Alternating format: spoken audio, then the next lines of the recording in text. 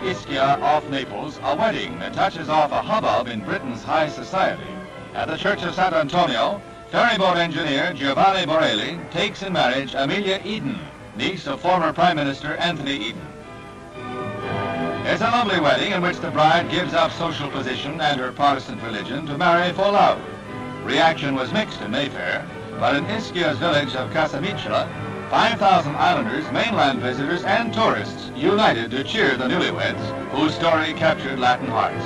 Auguri e longa vita.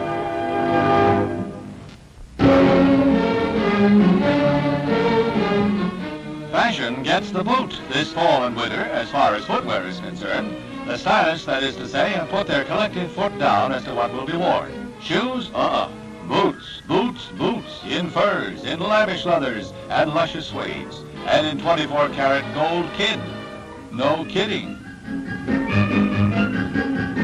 Worn with a 25,000 buck mink, $200 worth of evening boots. Knee-high, no less. A little less showy, this model has diamond buttons.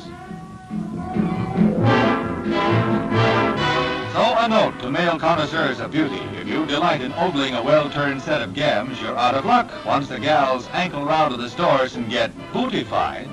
Feet are under wraps in this fall's fashion parade.